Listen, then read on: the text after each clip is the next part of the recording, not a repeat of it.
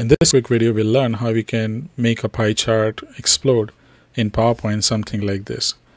Uh, this is especially useful if you are uh, demonstrating a pie chart and you would like to focus your attention on a particular piece of a pie or a particular set of data.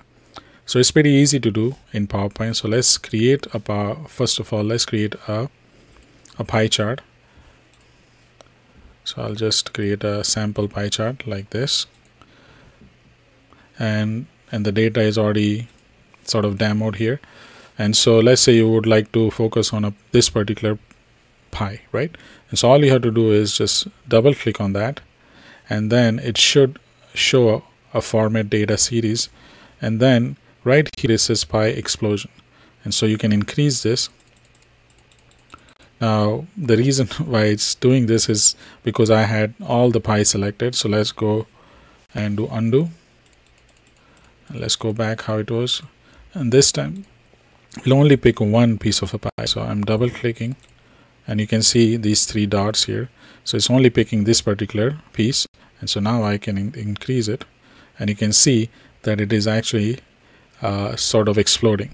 Now it's actually over overriding with this title that I have. So that's where this angle comes into handy. So I can change this angle and you can see it's actually adjusting the size based upon that. And so you can play with this angle. Uh, in fact let's go to I mean this seems like a reasonable one. Uh, let me change the uh, you know the the fill color. So just to have more prominent color there right?